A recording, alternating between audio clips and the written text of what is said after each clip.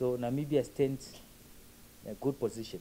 That's why when we bid for the uh, global office, the host global office, we came second after South Korea, who is the host now of the global office.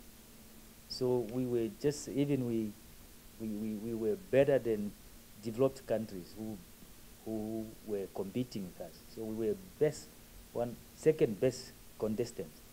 So we, we, for now at a regional level, level, that's why many countries are supporting that.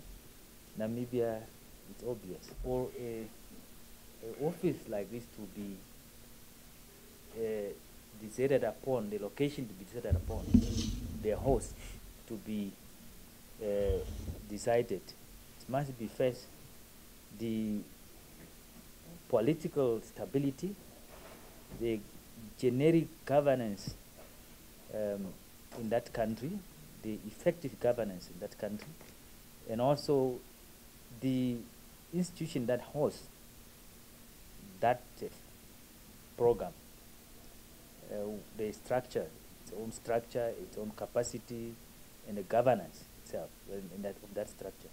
So Namibia stands in a good position